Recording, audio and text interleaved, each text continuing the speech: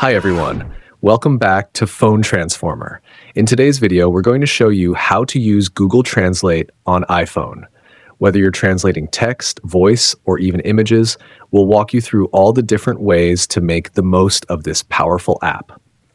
Let's start with text translation. This is the most common and simple method. First, open the App Store on your iPhone and search for Google Translate. Once you see it, download and install the app to get started. After it's installed, go ahead and open the Google Translate app. Now copy any text you want to translate from a website, app, or message. Paste that text into the input box inside the app. Next, choose the language translating from and the one you want it converted to. You can also use Detect Language if you're unsure. Tap the copy icon to save the translated result so you can use it anywhere. And if you want to hear it out loud, just tap the speaker icon to play the audio.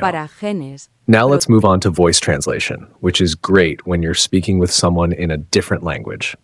Start by opening the Google Translate app again. Choose the languages you're speaking and translating to. Tap on the microphone icon to begin voice input.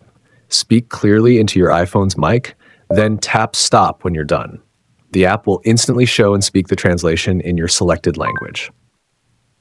Finally, let's talk about image translation, which is perfect for signs, menus, or labels. Open the Google Translate app and tap the camera icon on the bottom right. Point your camera at the text you want to translate.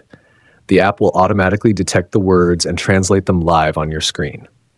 Thanks for watching. Don't forget to subscribe to Phone Transformer for more useful iPhone tips and tricks.